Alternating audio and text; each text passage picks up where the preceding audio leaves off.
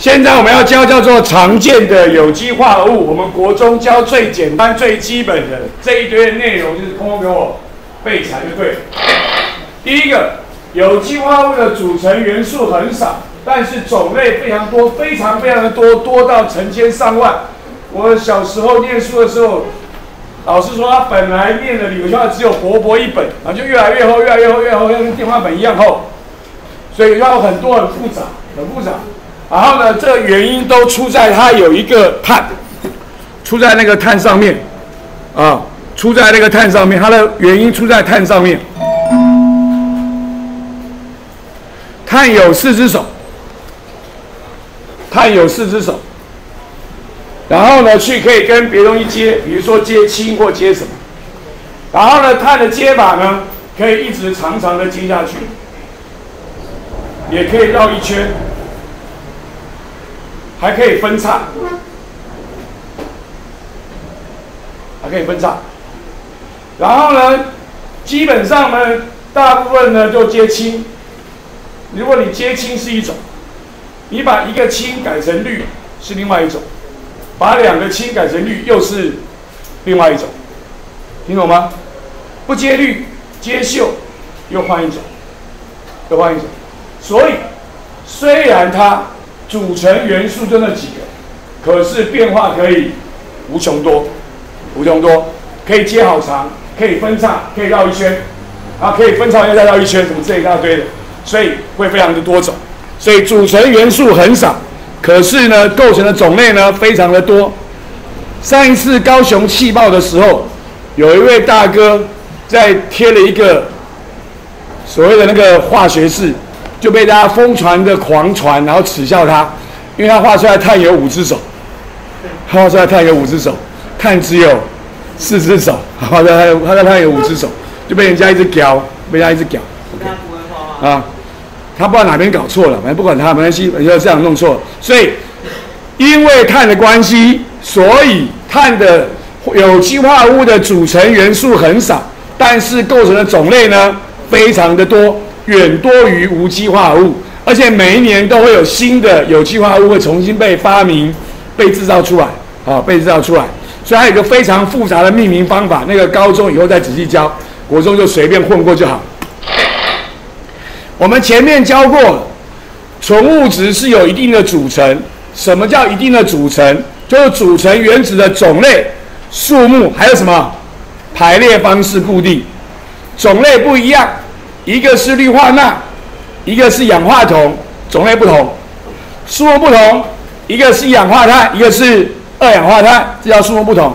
那还有一个排列方式不同，排列方式不同，到高中会教非常复杂的一坨拉苦神奇的东西出来，国中只教一个，就这个甲醚跟乙醇，甲醚跟乙醇上面有模型。那个黑色的叫做碳，白色的叫做氢，红色的叫做氧，所以它都是两个碳、六个氢跟一个氧，所以你就会写成分子式就写成 C2H6O，写起来通通都怎样？一样，可它们是不一样的东西，为什么？因为排列方式不一样。你看到那个甲醚是氧在中间挑扁担，对不对？两个挑扁担，然后呢，那个乙醇呢就不是这样子。所以它们是排列方式不同，分子式都写一样，C2H6O，可是我的排列方式不一样，所以我是不一样的化合物，我有不一样的性质，这种东西叫做同分异构物。暂停，我们学了三个名词，请你回想那三个名词什么意思？第一个，同素异构体，同素异形体。第二个同位素，第三个同分异构物。同分异构物，相同的分子式，排列方式不同。同分分子式相同，异构排列方式不同。国中只教一个，就它，给我记好。甲醚跟乙醇哪里不一样？排列方式不一样，所以是不一样的化合物。所以有不一样的性质，这种东西我们称为同分异构物。回想什么叫做同素异性体？什么叫同位素？什么叫做同分异构物？给我想清楚，甲醚跟乙醇。那你如果这样写的话，你写个 C 二 H 六 O，人家知道在写什么吗？不知道，对不对？所以我们有一个适性式，就是把它特征标出来。比如说，醚类的特征养在中间挑扁担，把它特征标出来。我们后面要教什么醇类啦、烷类啦，就会有它的特征，就要把它特征标出来。所以这个特征叫做专有名词，叫官能基。官能基，官能基。比如说后面会教醇类的特征是有 OH，就是 OH，所以我的乙醇就写成 C2H5OH。你看到 OH 知道是什么东西？醇，知道是醇，知道醇。我刚才讲过，醚类是什么？氧在中间挑扁担，对不对？